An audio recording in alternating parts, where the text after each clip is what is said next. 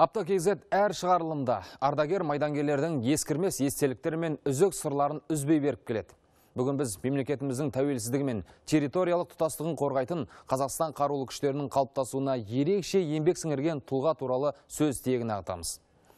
Ол соғыс көрген, өмірінің 54 жылын әскерде өткізген қазақтың қаһарман ұлы Сағадат Нұрмағанбетов. Тегінде тұлғаға деген құрмет халықтың ықыласымен өлшенуі керек. Көзбен көрген көріністі айтайық. Былтыр Қазақстан телерадио корпорациясы әскери әндер байқауын өткізбеді.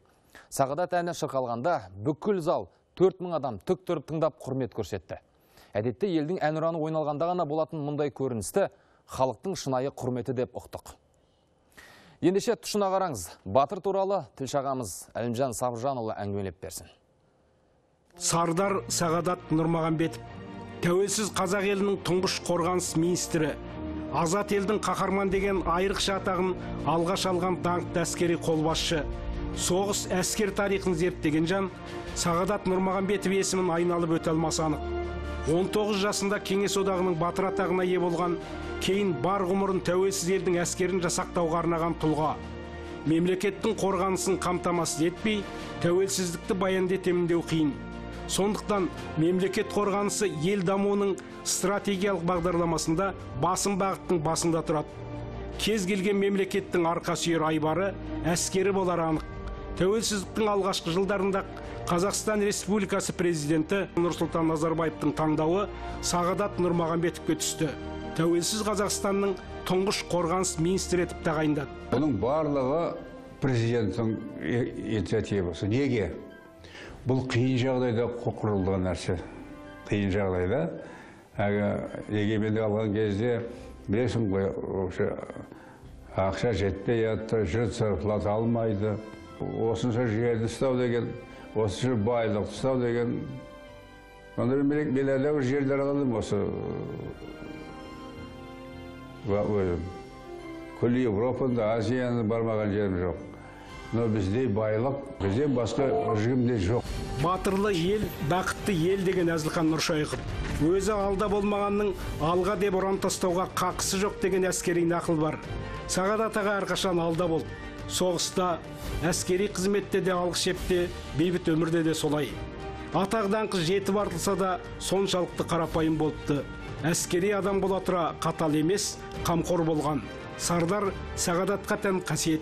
Сағадат ағатайдың кейінгі жеті сегіз жылда көп бірге жүрдік. Өзіміздің жасап жатқан қоғамда жасап жатқан әлеуметтік экономикалық жасап жатқан мәселелеріміздің ашып жатқан жобаларымыздың елдің түкпір түкпірінде ашып жатқан жобаларымыздан хабарлар болғызып соның көбіне жасап жатқан іс шараларымызды бірге бірге барып сол мәселелердің бәрін араласып ол кісі көріп жүрді.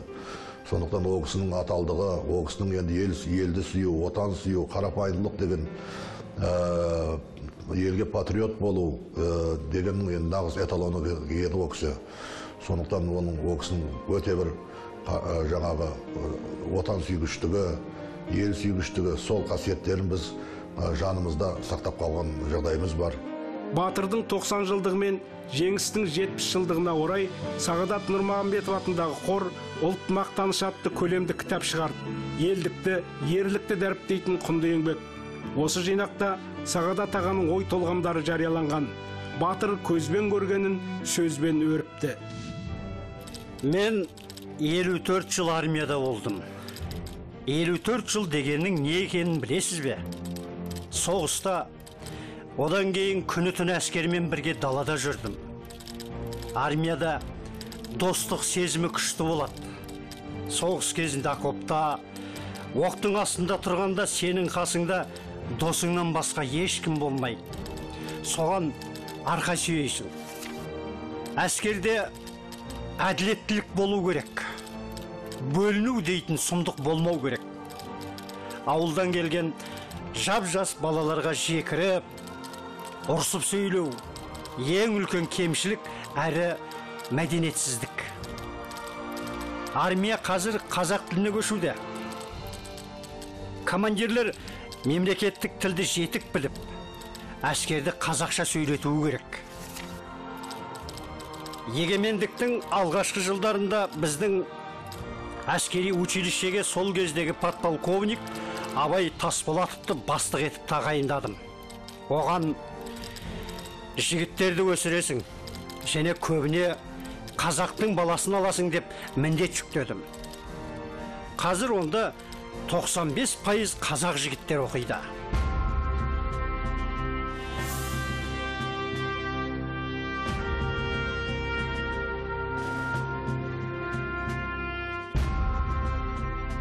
Сол қиын қыстау уақытында 92-93 жылдары енді бәрі сол, көзімізден өтті ғой енді білеміз ғой сол кездерде қаржы да жоқ ә, жағармай да жоқ бірақ соны сол қиыншылық уақыттарында свет те жоқ. Сол қиыншылық уақыттарында ә, әскери оқу жаттықтар жүргізіп, жүргізіп сол өзі басында болды. Сонда ә, біздің сағадат қожахметовтің қараңызшы сонда 68 жасында сол қорғаныс министрі тағайындалған президентіміздің жарлығыменен. Вот қараңызшы сонда мына сол ә, сол қиыншылықтарға қарамай мына қару ә, техниканы және мүлікті соның барлығын мына шашыратқызбай сол кездерде кадрларды ұстап қалғаны осы ағамыздың арқасында деп айтамын. 2011 жылы сағадат нұрмағамбетов атындағы халықаралық қор құрылып батырдың батасын алған болатын.